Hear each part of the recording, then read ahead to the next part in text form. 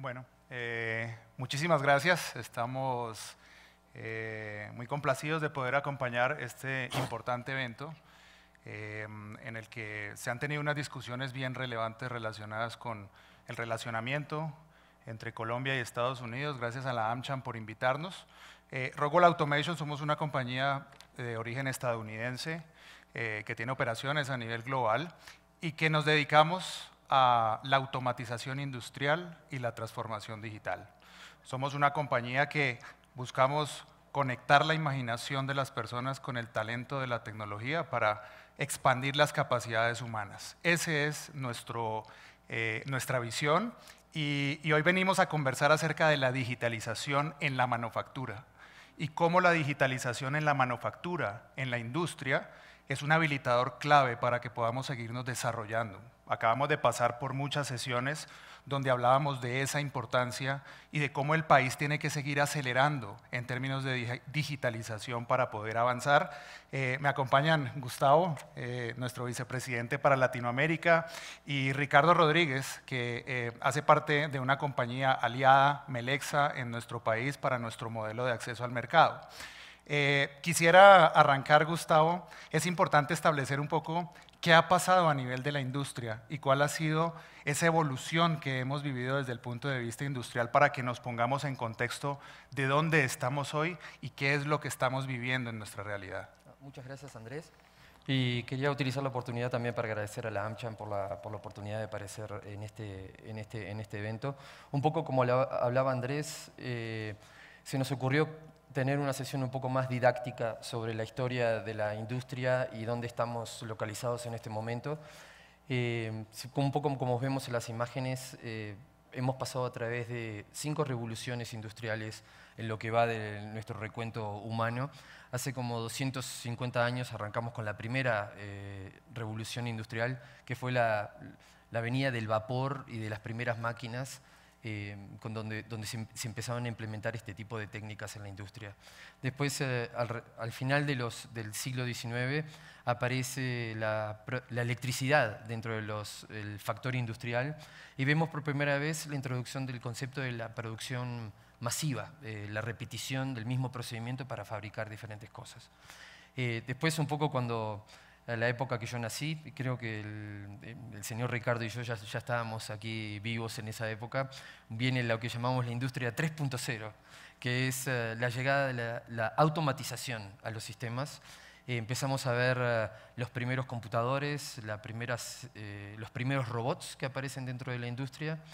Y quizás la mayoría de los presentes aquí han pasado ya a través de lo que llamamos la industria 4.0, que es la llegada de Internet y la conectividad de los equipamientos dentro de, todas nuestras vidas y también del sector industrial. Como ven, eh, muy probablemente aquí eh, en, Colombia y en el mundo, eh, estas cinco industrias coexisten hoy por hoy. Y como ven, el tiempo entre cada una de las revoluciones se va achicando de forma exponencial, ¿no? vamos a una velocidad muy rápida. Entonces es muy probable que casi todo lo que estemos vivos hoy pasemos por dos o tres de estas revoluciones industriales. Entonces hoy estamos en el comienzo de lo que llamamos la próxima revolución industrial, la que llamamos la industria 5.0, donde nos capitalizamos en todo lo que hemos aprendido en, la parte 4.0, capitalizamos la utilización de los datos, eh, la analítica, eh, eh, Internet, y llevamos esto a la personalización máxima de todo lo que se llama, lo que hacemos, de todo lo que podemos hacer en, los segmentos industriales. Eh, empezamos a pasar de lo que se llama automatización a la autonomía de los procesos. Y, para preguntar dónde estamos hoy es, precisamente, estamos en este pasaje entre lo que llamamos la industria 4.0 y la industria 5.0. Eh, una cosa interesante de ver es que la pandemia ha sido el gran acelerador de este salto a la industria 5.0. Eh, nos ha traído cosas muy positivas la pandemia, o sea, como esta aceleración, pero también los efectos negativos de la pandemia que no podemos negar, y una gran desigualdad, entre, una gran brecha entre las economías y las personas. Vemos que quienes están en el punto de vista más avanzado en la adopción de este tipo de cosas están tomando una enorme ventaja sobre los que no están tomándose su tiempo para resolver esta, esta, esta transición.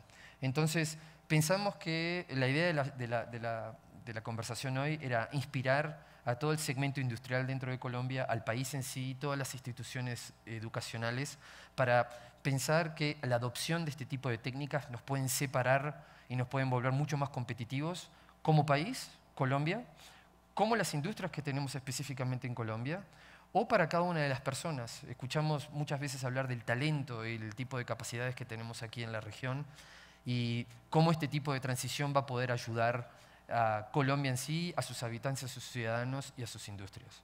Entonces, para, quizás para hablar un poco más de cómo esto tiene su impacto dentro del país, eh, le paso la palabra a Ricardo para que nos cuente un poco cómo, es esa situación aquí en, en Colombia específicamente. Sí, Gustavo. Em, los, eh, los, gobiernos en Colombia utilizan desde hace más o menos 60 años un mecanismo para poder implementar sus políticas de desarrollo, que son los planes nacionales de desarrollo. Arrancaron hace aproximadamente 60 años bajo el gobierno de Lleras Camargo. Y cada gobierno ha tenido su propio plan de desarrollo. El gobierno del presidente Duque tiene un pacto llamado Pacto por Colombia, Pacto por la Equidad, que se fundamenta en el trabajo en equipo con otros dos pactos, el Pacto por el Emprendimiento y el Pacto por la Seguridad y por la legalidad. Entonces, básicamente, esa es la herramienta que utilizan los gobiernos para poder implementar. Y hay cuatro elementos particulares de, del pacto que utiliza el gobierno en la actualidad, que tiene un componente de 13 elementos transversales y 9 regionales que me gustaría señalar, porque creo que tiene mucho que ver con nuestro tema industrial, que son el pacto por la ciencia, por la tecnología y por la innovación, el pacto por la transformación digital, el pacto por la calidad y la eficiencia de los servicios públicos y el pacto por los recursos mineroenergéticos. Eso eh, conlleva una serie de retos eh, para poder implementarse en la realidad industrial de los países. El primero tiene que ver con la inclusión productiva, que esencialmente tiene que ver con acompañar los micronegocios del país en una ruta para estabilizarse y para poder inscribirse en la, para poder inscribirse en la, en la en, el reto que tienen en este momento. Eso significa esencialmente productividad lo que ocurre es que el nivel, de, el nivel de contacto de las compañías colombianas con la tecnología es muy bajo. Para ponerlo en perspectiva, tan solo el 2.7% de las empresas hace cinco años tenía contactos con universidades para desarrollar planes de ciencia y de innovación. Tan solo el 1% de las pymes hoy en día tiene soluciones fundamentadas en robótica y el 9% soluciones relacionadas con, eh, con, Internet de las Cosas IoT. Entonces ahí hay un rezago muy importante desde el punto de vista de inclusión productiva.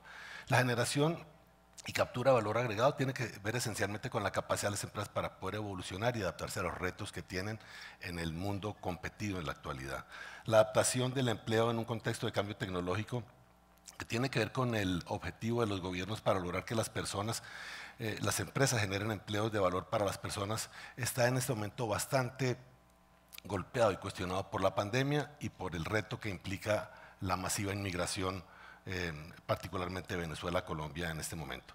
El cuarto tiene que ver con la inserción en la economía global. Se ha hablado durante el día de hoy de la inversión extranjera directa y de los 17 TLCs que tiene Colombia firmados con múltiples países, de qué manera se saca provecho del potencial que representan eh, esos acuerdos.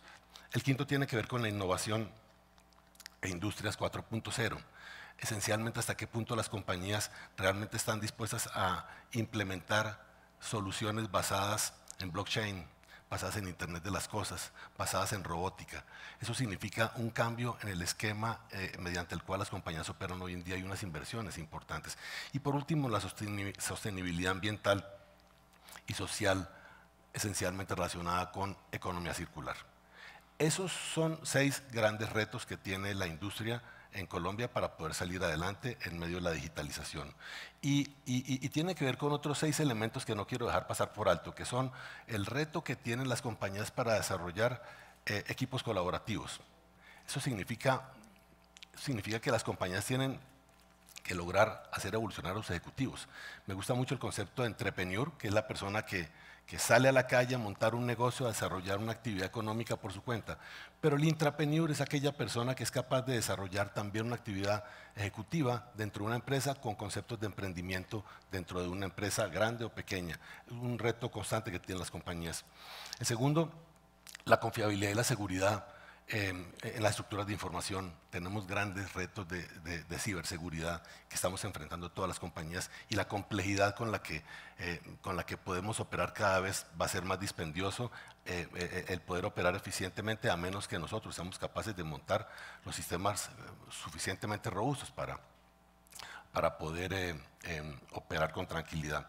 La actualización tecnológica Evidentemente las inversiones que mencionaba hace un momento en cuanto a modernización para el mundo digital, eh, el desarrollo de habilidades, eh, la capacitación de las personas, eh, los socios estratégicos, no solamente a nivel de países, sino también a nivel de clústeres que se desarrollan o esos, esos ecosistemas que se conforman alrededor de cualquier actividad industrial que hay o económica que hay en, una, en un país.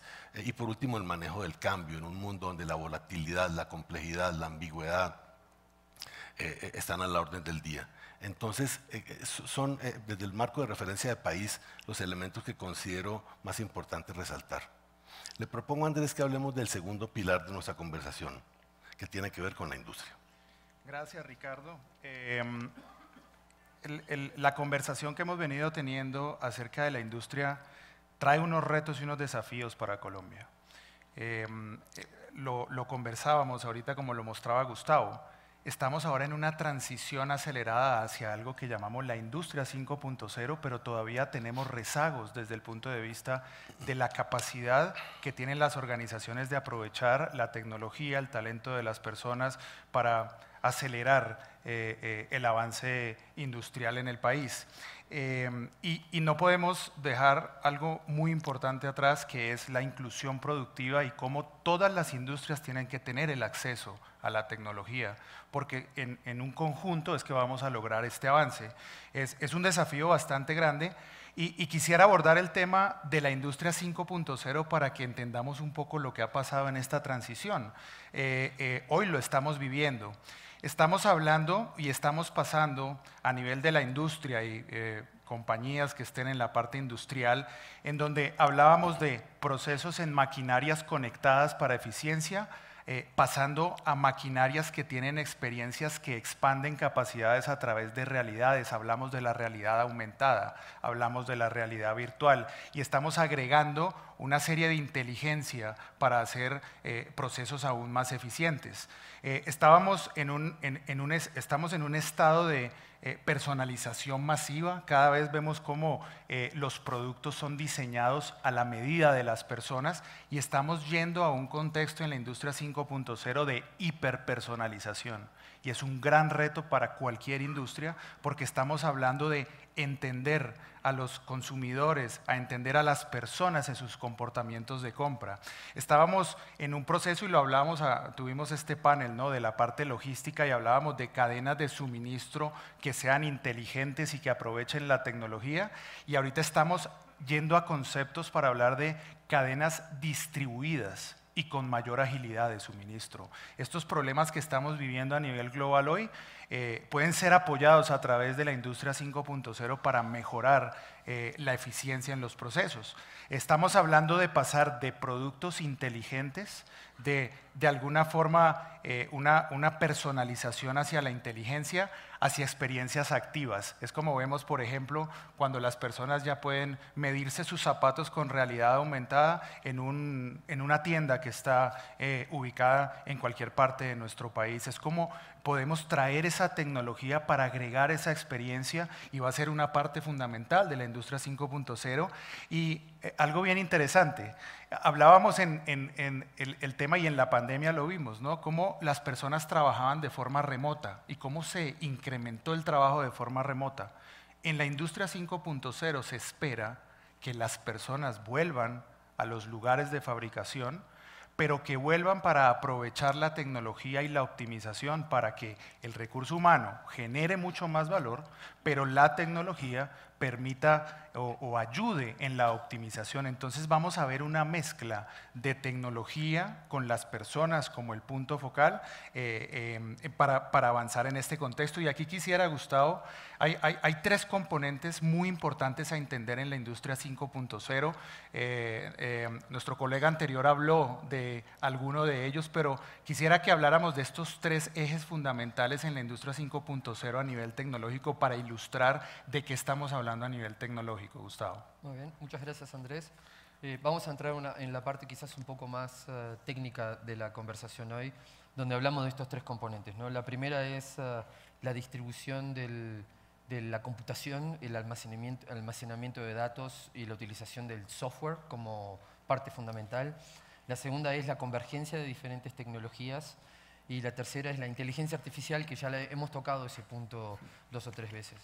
Eh, ¿Por qué hablar directamente de estos temas? Es porque el, futuro es hoy, ¿no? Y, y, son temas candentes, como ustedes van a hablar de algún segmento industrial, algo que esté pasando sobre la colección de datos, dónde mandar a sus hijos para que estudien alguna cosa. Definitivamente esta temática va a estar recurrentemente en lo que se viene en los, en los tiempos, eh, ya no hay futuros en el presente.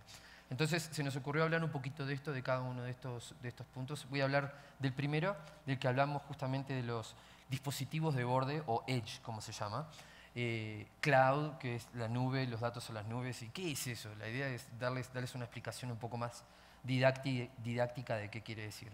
Edge o dispositivos de borde se llama cuando yo tengo un sistema de computarizado distribuido en toda la cadena. En, el pasado generalmente teníamos un el, data center, teníamos todos los datos en un lugar, todo el centro de computación en un, solo, en un solo lugar. Entonces la parte computacional y de análisis y todos los algoritmos estaban centralizados en un lugar físico.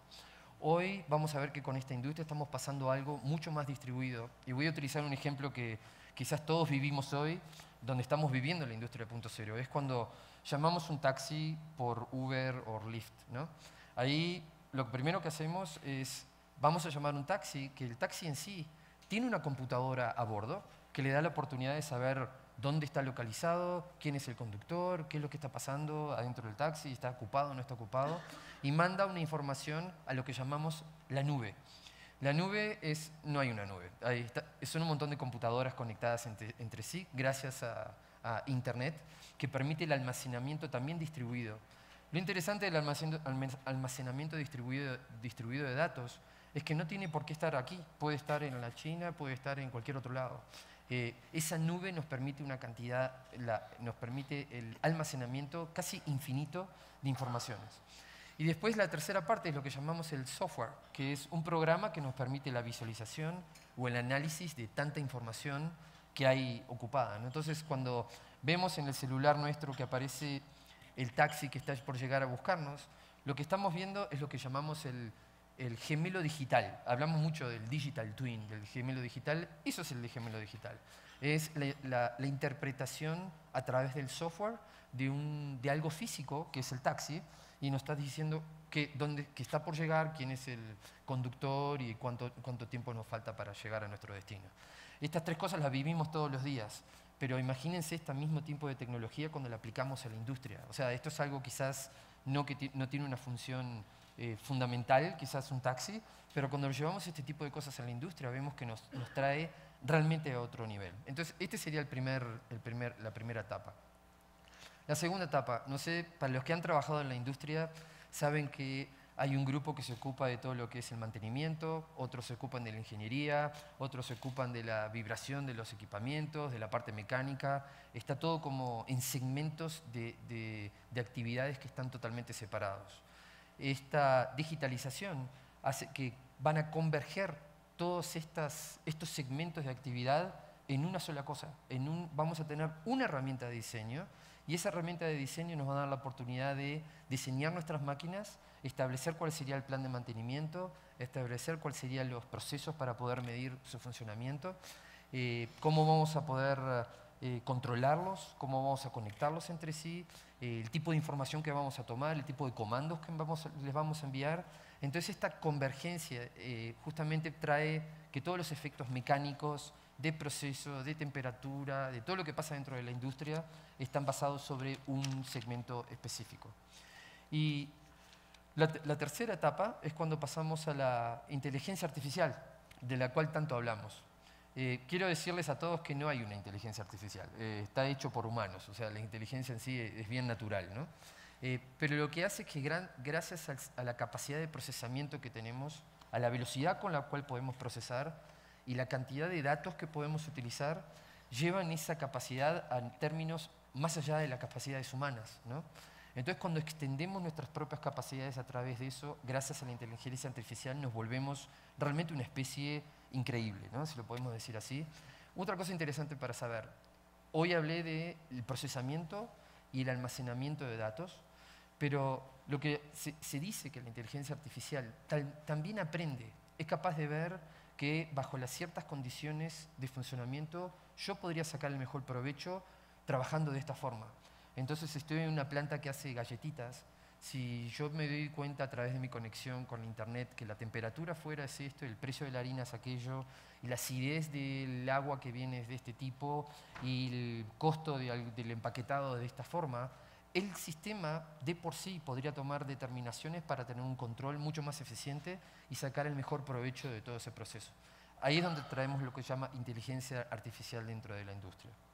Entonces, eh, sí, ese sería el punto. Te paso la palabra a Andrés para darle un poco más. Como, y para sí, ampliarle un poco, y vemos ¿no? en, el slide una representación básica de lo que son los niveles en una empresa de manufactura, donde vamos desde el piso de planta, donde se hace la producción, hasta el sistema de negocio, donde se toman las decisiones. La inteligencia artificial viene a generar una oportunidad adicional desde el punto de vista de optimización. Es así como en el nivel de negocio que se encarga de hacer una distribución óptima de recursos y de equilibrar ¿verdad? sus capacidades para la oferta y demanda, la inteligencia artificial trae una oportunidad para poder realizarlo de una forma más óptima que hayan mejores decisiones a nivel de negocio, que se equilibre de mejor forma para tener una mayor competitividad. Estamos en un entorno globalizado donde la competitividad es muy alta y precisamente la inteligencia artificial viene a ayudar al hombre a quien está haciendo la planeación, todo el equipo que está haciendo la planeación de recursos para tener una optimización. A nivel de las facilidades y lo que llamamos los sistemas de ejecución de manufactura, igualmente, en los sistemas de, ejecución de manufactura buscamos minimizar costos de alguna forma disminuir las desviaciones que tenemos de producción y la inteligencia artificial va a ser un gran aliado para mejorar y optimizar en este sentido las organizaciones, mejorar sus costos, mejorar su productividad. Y ni qué hablar de las líneas de producción en sí, en lo que nosotros llamamos en el, en el, en el argot del control el lazo cerrado, donde básicamente los dispositivos, los robots, las líneas de producción, los sistemas de control empiezan a tomar decisiones de alguna forma autónomas bajo el proceso para poder eh, mejorar esta capacidad de producción, eh, siempre con la base de la guía humana, que es quien eh, permite que estos sistemas puedan sacar el mayor provecho. Y, creo aquí, Ricardo, hay una revelación importante de la industria 5.0 y sería importante entender pasar de sistemas automatizados a sistemas autónomos, ¿qué significa? Porque va a ser el, próximo concepto que vamos a estar hablando en los próximos años a nivel industrial eh, relacionado con la autonomía. Sí, ¿cómo es pasar de la automatización a la autonomía? La automatización está fundamentada en herramientas de software que siguen reglas previamente programadas y uno se la imagina alrededor de procesos repetitivos, monótonos, peligrosos que requieren un alto nivel de precisión. La autonomía es un paso adicional porque la autonomía está fundamentada en inteligencia artificial. Entonces la inteligencia artificial lo que hace es realizar acciones precisamente no programadas, es actuar, identificar patrones y tomar decisiones. Eso es lo que, lo que aquí ocurre, es un, es un cambio increíble. De manera que la, la autonomía permite, por ejemplo, que haya máquinas, que haya plantas industriales o incluso ciudades que funcionan de manera eficaz de manera segura y de una manera muy controlada. O sea, la autonomía requiere mucha flexibilidad y requiere también de tener em, mucha adaptabilidad. Creo que ese es el mensaje fundamental. Desde esa perspectiva sería interesante, Gustavo y Andrés, que ustedes nos comentaran cuáles consideran que son los retos para las industrias para poder montarse en ese modelo 5.0. De, qué estamos hablando en concreto? Hay, una visión, Ricardo, y, es, hablamos de la empresa autónoma. Vamos al concepto de la empresa autónoma y, tal vez, Gustavo, hacemos un paralelo de qué significa ser automatizado y qué significa ir hacia la autonomía industrial. Y cuando hablamos desde la automatización o donde hoy estamos, podemos decir que vamos en la transición, hablamos de conceptos donde tenemos procesos muy repetibles, procesos que de alguna forma pueden ser eh, eh, automatizados a través de la tecnología Em, que necesitan un conocimiento básico de ingeniería para poderse llevar adelante. Y entonces saltamos hacia el concepto de la autonomía, Gustavo, eh, y, viene un, un, cambio drástico, un cambio y una oportunidad para la industria. ¿Qué vemos hacia la autonomía? ¿Qué cambia frente a la automatización a la autonomía? Sí, en este, en este momento se, empezamos a detectar como una fractura cuando antes, eh, eh, fractura por, un, por el fenómeno que las, las, capacidades de los sistemas de automatización eh, se están quedando cortos, o sea, no podemos empezar a pensar en todas las posibilidades que necesita la superpersonalización que va a requerir el mercado. ¿no? Hoy Ricardo justamente estaba hablando de, de, de, que todo está programado de forma repetitiva para poder lograr exactamente lo mismo. Y ahora no, no necesitamos lograr lo mismo, necesitamos reaccionar a todas las varias, a la gran variabilidad de la demanda. ¿no? Entonces, por ejemplo, me gustaría hablar de un ejemplo, por ejemplo, un caso bien claro que existe hoy de un sistema autónomo, ¿no? que es, eh, eh, por ejemplo, ahora vemos la, gran revolución de vehículos que se manejan solos, o sea, uno es capaz de poner la dirección donde quiere ir el auto funciona solo. Ese es el caso perfecto de un sistema donde pasamos de la automatización a un sistema totalmente autónomo. El auto tiene dos capacidades en sí la capacidad de trabajar localmente para entender cuáles son las condiciones locales alrededor de él. Hay una persona adelante, tengo dos autos atrás, cambió la luz, tengo que doblar a la derecha. O sea, tiene una capacidad súper, con mucha, tiene una performance muy especial para poder darse cuenta de todo lo que le es local. Al mismo tiempo, eh, el auto en sí no tiene toda la capacidad de saber y todo el sistema computacional necesario para entender todas las posibles secuencias del tráfico, de lo que está pasando en la ciudad, sobre todo en una ciudad como Bogotá, donde las cosas están bastante, son bastante dinámicas desde el punto de vista del tráfico. Entonces, lo que, hace el, lo que hace el auto se comunica remotamente con lo que llamamos la nube, se comunica con un servidor para preguntarle, quizás en dos, en dos kilómetros a partir de aquí hay un accidente, está lloviendo, y recibe esa orden y le ordena al sistema diciendo, te sugiero poder salir del camino y tomar otra determinación. Entonces sé que Ricardo es un fanático de los autos y me pregunto si este tipo de cosas eh, lo, excitan. Sé que no es muy mecánico como sistema, pero realmente nos vamos hacia esa evolución donde vemos justamente el, casamiento ¿no? entre lo, local, la automatización local, la conexión a la red, la posibilidad de tomar los datos, utilizar la inteligencia, artificial. Entonces vemos a qué punto esto trae un potencial enorme para la industria. O sea, si todos estos automatismos le damos la oportunidad de distribuir nuestra capacidad de computación, utilizar una cantidad enorme de datos para tomar ciertas eh, determinaciones y poder poner esto en conjunto dentro de la industria, nos lleva a este próximo, próximo nivel, lo que agrega una gran competitividad en general a todo, a todo este segmento, si lo puedo decir así.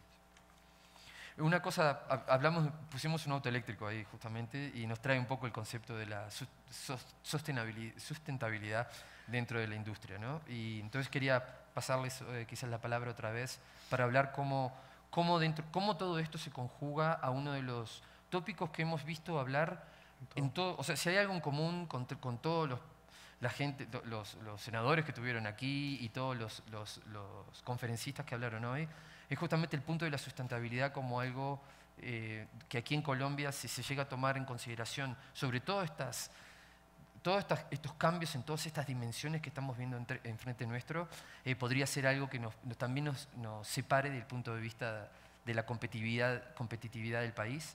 Entonces, les paso la palabra. Sí, es que mm, ya se usan em, recursos de inteligencia artificial para poder em, optimizar el uso de los recursos naturales, porque mediante inteligencia artificial se puede eh, predecir patrones de comportamiento mm, respecto a temas como, por ejemplo, el clima, eh, el comportamiento de la flora y la fauna, para poder controlar mejor el uso de ciertos recursos naturales, para poder monitorear, em, qué sé yo, la agricultura, em, em, la, pesca, la ganadería. Existen recursos para poder hacer eso desde una perspectiva de inteligencia artificial.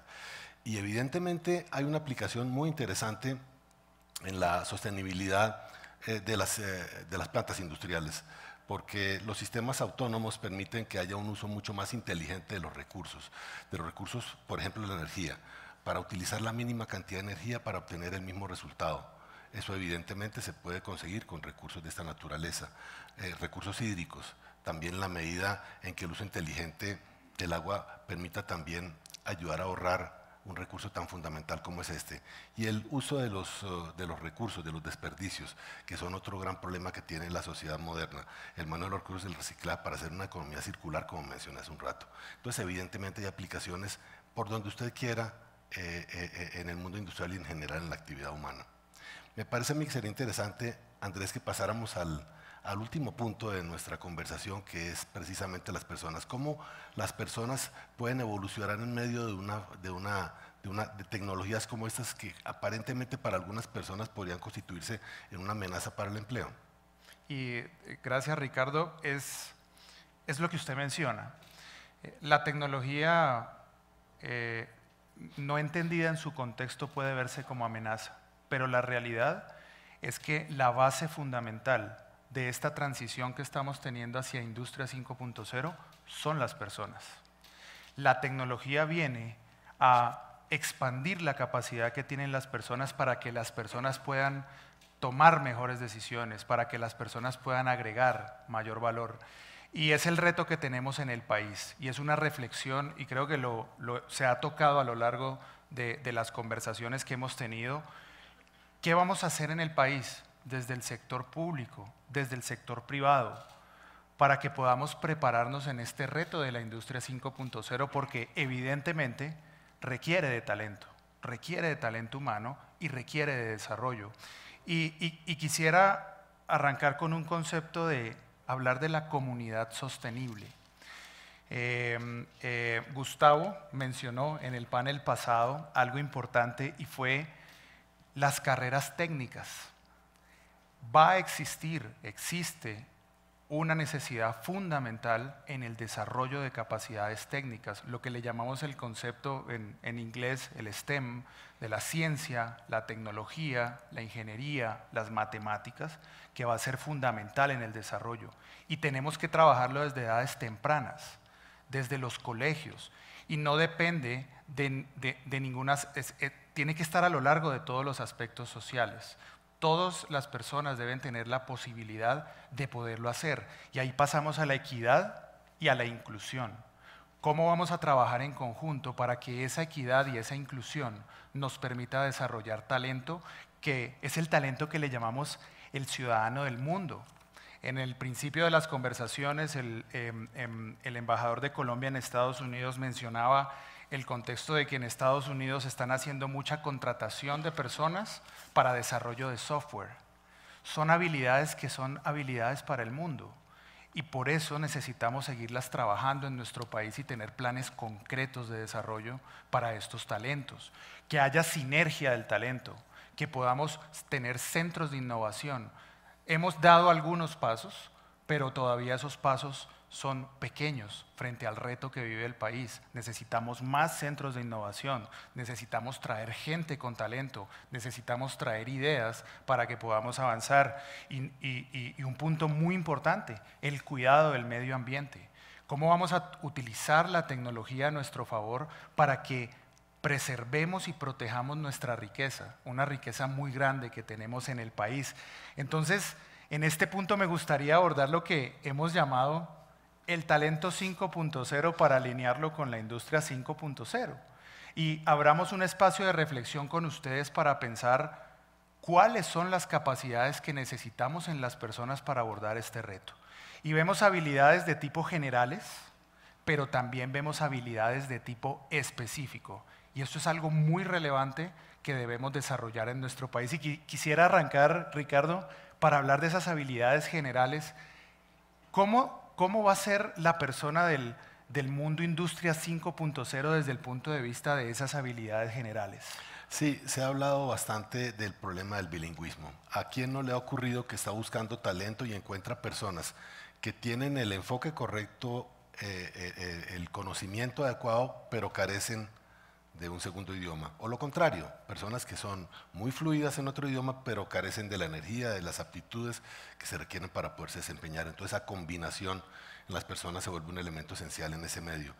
El pensamiento crítico, la capacidad de cuestionar positivamente, el trabajo en equipo, el, no tomarse a título personal las críticas y los cuestionamientos, la creatividad y la innovación. Un ejemplo interesante es el hecho de que vamos a hablar un poco del negocio de distribución B2B, no B2C, sino B2B, negocio a negocio. Antes del año 2000, el rol de una compañía en ese sector era esencialmente logístico. Vino el Internet y entonces todo el mundo se imaginó que iba a haber un fenómeno fuerte de desintermediación en el cual esas compañías ya no iban a tener mucha razón de ser porque todas las personas, las compañías, sobre todo las industrias, iban a poder comprar en cualquier lugar del mundo los productos que requirieran para poder llevar a cabo un proyecto. Pero hubo un choque entre la realidad y la teoría, y es que resulta que encontrar, para desarrollar un proyecto industrial se requiere apoyarse en múltiples tecnologías, en múltiples fabricantes, en múltiples proveedores. ¿Cómo hace usted para lograr garantizar tener el nivel de información adecuado? ¿Cómo hace usted para tener el nivel de confiabilidad que requiere para llevar a cabo sus inversiones y que funcionen de una, buena, de una manera correcta? Entonces, eso significa que realmente hay un cambio importante en el paradigma. Quizá eh, la solución para eso es tener un proceso de automatización en los procesos internos de las compañías, de las compañías, en este caso del mundo de distribución B2B, que permita que puedan suplir ese reto tan complejo que se empieza a enfrentar. ¿Y qué pasa entonces con las personas? El rol de las personas evidentemente cambia porque los clientes, las industrias que necesitan un soporte para desarrollar un proyecto, un plan de mantenimiento, necesitan soporte técnico, acompañamiento, necesitan un asesor que realmente esté de su lado a lo largo de todo ese proceso que puede volverse muy complejo y penoso y costosísimo en caso de que se cometan errores. Entonces creo yo que esa es una perspectiva amplia desde la, desde la, desde la perspectiva de un negocio concreto. Sí, y, Gustavo, eh, vimos conceptos muy específicos tecnológicos que no escapan de cualquier profesión. Sin importar la profesión, en la industria 5.0 debe existir un entendimiento para poder aprovechar el momento que vamos a vivir de esa unión de la tecnología con las personas. ¿Qué nos puedes comentar al respecto de esos talentos específicos que buscamos o que van a existir en las personas en los próximos años? Sí, eh, creo que la, inquietud y la curiosidad por esta nueva ola que vemos enfrente de, nosotros, eh, tratar de inculcar que más vamos a tener eh, parte de nuestra población competente en los ángulos que hablamos hoy, ¿no? el bilingüismo, entender más de computación, entender más de bases de datos, eh, teoría de, toda la digitalización en general de la industria, nos, posiciona mucho mejor. Pero no sé si recuerdan hoy, la verdad que estuvo muy bien la presentación de Mauricio Reina, eh, habló, de dos o tres cosas, habló mucho de la, exportación que tiene Colombia, ¿no? de que había un montón de oportunidad para seguir exportando más en lo que son los productos que se hacen aquí. Habló también del costo de la mano de obra que tiene Colombia con respecto a los Estados Unidos, la cercanía. Yo me, hizo pensar que, no hablamos justamente del... hay un, par de privilegios, probablemente los colombianos en sí no piensan de tenerlo, porque siempre decimos en, casa de herrero cuchillo de palo, ¿no? pero yo nací en Uruguay eh, y tengo la oportunidad y también el privilegio de ver la situación a través de América Latina, y creo que Colombia está en una situación a varios niveles privilegiada. Primero, el punto de vista geográfico, está cerca de todo, está en el centro de América, si lo puedo decir así. Eh, está en, una hora, en un uso horario que es muy compatible con realmente todas las geografías que tenemos en el lado, eh, en el lado oeste, que si puedo decir así, del mundo. Eh, y tiene una capacidad humana realmente increíble y sobre todo una serie, más allá de los gobiernos y las políticas, y cuáles han sido los, los vaivenes quizás macroeconómicos del país, hay una, a través de los años se ha formado una generación de gente súper capaz, que no solamente tiene la curiosidad, la intuición de cómo quiere trabajar, sino una calidad humana y una, una, capacidad de sobrevivencia realmente espectaculares en todo lo que respecta a vivir aquí y, y todo lo que se puede hacer. ¿no? Entonces se detecta una, una capacidad extraordinaria si esa capacidad, ese talento se pusiera al servicio justamente de esta, de esta gran oportunidad que tenemos enfrente, ¿no? lo que se nos viene, y ponemos a nuestra gente a trabajar y a desarrollarse en estas áreas, va a traer, y para, cerrar un poco el concepto que hablábamos hoy, ¿no? tendría un impacto tanto como Colombia, para las industrias que están en Colombia y tanto para las personas de punto de vista de una competitividad global. Aquí ya no hay más, eh, estamos conectados globalmente y la cosa es cómo podemos llevar a Colombia por exportación. Hablamos de conectividad, hablamos de trabajo remoto, justamente podemos exportar nuestro talento sin tener que salir de Colombia. Podríamos tener gente aquí que esté desarrollando herramientas y justamente Rockwell, que es la compañía que nosotros representamos hoy, tiene un campus en Medellín con 200 personas desarrollando software que hoy se consume globalmente. Entonces ahí es donde veo la llave y la oportunidad que podemos tener de dónde combinar Colombia, el país, la situación, la oportunidad y la, y la, la venida de esta nueva industria 5.0 eh, en el futuro. Muy bien. Eh, para finalizar, eh, y, nuevamente gracias por la invitación, un espacio de reflexión eh, muy interesante. Definitivamente tenemos muchos retos en el país. Analizamos el tema desde la perspectiva del país como tal y sus políticas de cómo avanzar, también de la industria y de los retos que tiene para poder ir adelante, donde mencionamos aspectos relevantes de tecnología apoyando los procesos de fabricación a todos niveles. No es solamente la gran empresa, la mediana empresa, la pequeña empresa. La tecnología hoy está al alcance de toda la cadena de valor que tiene que ver con las empresas. Eh, y un hecho fundamental, las personas. Las personas son la base de la industria 5.0 y seguirán siendo la tecnología vendrá a darles más capacidades, a expandir sus capacidades y estamos en este contexto. Somos positivos en lo que viene para nuestro país, tenemos mucho por hacer, tenemos muchos retos, pero también hemos salido adelante dentro de este contexto y sabemos que vamos a seguir acelerando. Así que eh, concluimos y somos unos firmes convencidos de que la digitalización responderá a los retos del país, pero requiere decisiones a todos niveles, privados, públicos, para que podamos avanzar en este sentido. Eh, muchas gracias, Gustavo. muchas gracias, Ricardo, por esta conversación. María Claudia, muchísimas gracias, AmCham, por esta invitación y esperemos que podamos seguir teniendo estas importantes conversaciones para construir país. Muchas gracias.